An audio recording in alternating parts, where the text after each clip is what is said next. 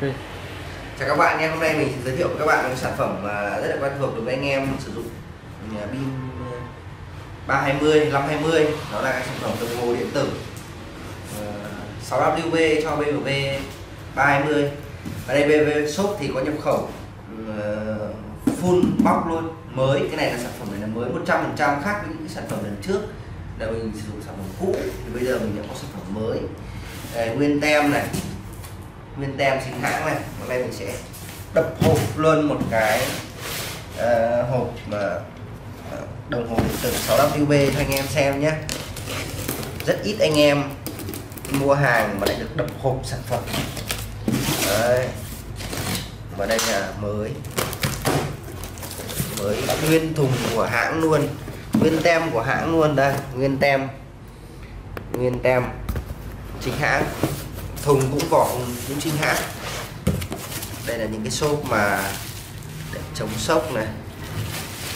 Hãng rất cẩn thận nhé sử dụng cái ờ, xốp này để lót bởi vì nó là sản phẩm đồng hồ, cho nên là rất dễ bị chảy xước. Phía trong đồng hồ thì lại có thêm một lớp xốp lỗ nữa để chống rung, chống sóc. Và phía mặt trước của ờ, phía mặt trước của đồng hồ thì được dán một cái lớp uh, băng dính. Ừ. Đấy, lớp băng dính để bảo vệ không bị xước uh, mình hướng dẫn các bạn kiểm tra luôn về cái sản phẩm đồng hồ có mới hay không. Thì uh, phần uh, lỗ ốc bắt này phần bắt lỗ ốc này rất là còn zin này. Nếu như mà các bạn sử dụng cái sản phẩm cũ thì cái lỗ ốc này nó bị choét rồi. Đó. Thứ hai là tem bảo hành tem bảo hành ở đây được dán trồng lên các cái lớp này đều là vẫn còn nguyên chưa bị chảy xước gì cả. Thứ hai là đối với sản phẩm đồng hồ điện tử thì um, sẽ có hai loại.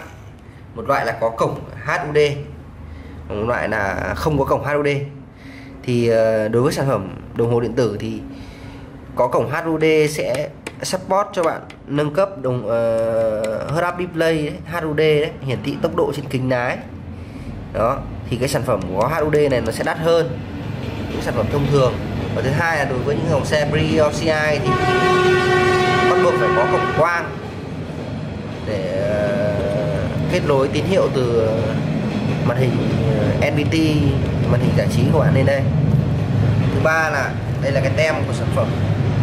Cái ờ, đồng hồ này là do Boss sản xuất. Đó, từ ngày mùng 3 tháng 9 năm 2019 rất là mới. Đó tất cả đều là chính hãng. Đây đang quay cho anh cái tổng thể cái đồng hồ.